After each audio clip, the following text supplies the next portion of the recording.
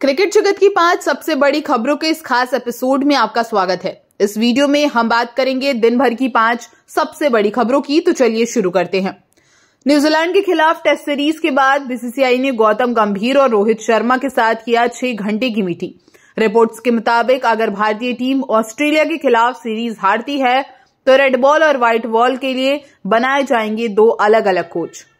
भारतीय टीम के साथ ही ऑस्ट्रेलिया जाएँगे रोहित शर्मा। रिपोर्ट्स के मुताबिक कप्तान रोहित शर्मा ऑस्ट्रेलिया के खिलाफ पहले टेस्ट में नहीं खेलेंगे, लेकिन वो इस दौरे पर टीम के साथ ही जाएँगे। अगर सब कुछ सही रहा तो वो पहला टेस्ट भी खेल सकते हैं। चैंपियंस ट्रॉफी के लिए भारतीय टीम पाकिस्तान नहीं जाएगी, ये खबर इस समय सुर्खियों में है। इसी बात पर पाकिस्तान के पूर्व क्रिकेटर रसीद लतीफ ने बयान देते हुए कहा कि अगर भारतीय टीम पाकिस्तान नहीं आती तो पाकिस्तान को अब सभी आईसीसी टूर्नामेंट को बायकॉट कर देना चाहिए। जेम्स एंडरसन ने ईसीबी पर लगाया बड़ा आरोप। स्काई स्पोर्ट्स को दिए इंटरव्यू में एंडरसन ने कहा, अगर मेरे हाथ में होता तो मैं पचास की उम्र तक खेलता।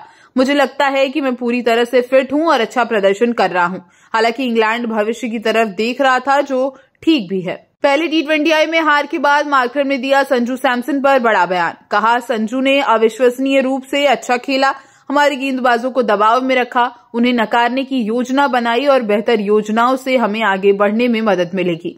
एक बार जब वो इस तरह से स्ट्राइक करता है तो उसे रोकना काफ़ी मुश्किल होता है और आप उसके लिए अपना सम्मान प्रकट करते हैं।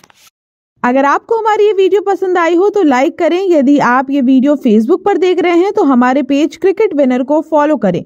और यदि यूट्यूब पर देख रहे हैं तो हमें सब्सक्राइब करें और वीडियोस को शेयर करना ना भूलें।